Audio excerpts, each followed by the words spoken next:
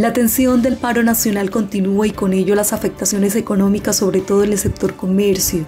Los bloqueos que se registran en algunas vías, en Ocaña ya se empieza a notar el desabastecimiento de algunos alimentos y los pocos que llegan se comercializan a un alto costo. Siempre la afectación va a ser dramática.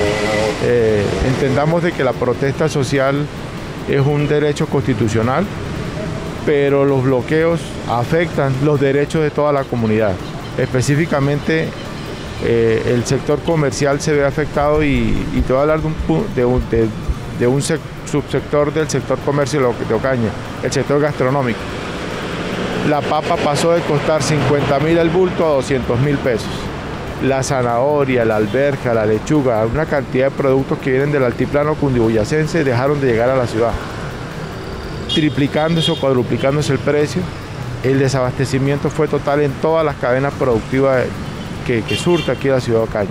La leche dejó de llegar, pero fue un sinnúmero de productos que afectan directamente el aparato productivo de la ciudad. El gremio de comercio ha tenido que lidiar con la crisis de la pandemia y ahora la de los paros, por lo que hacen un llamado al gobierno a negociar y a los manifestantes a habilitar el paso de alimentos esenciales de la canasta familiar. Más desempleo, seguimos incrementando la desigualdad, estamos recuperándonos de una pandemia y nuevamente se presenta una situación de esta golpeando duramente nuevamente el aparato productivo cañero que, es, que orbita alrededor del comercio.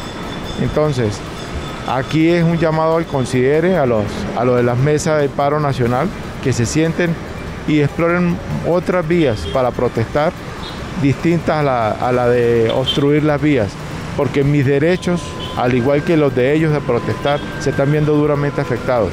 Muchos de los productos que llegan a la plaza de mercado provienen de la zona del Catatumbo y provincia de Ocaña.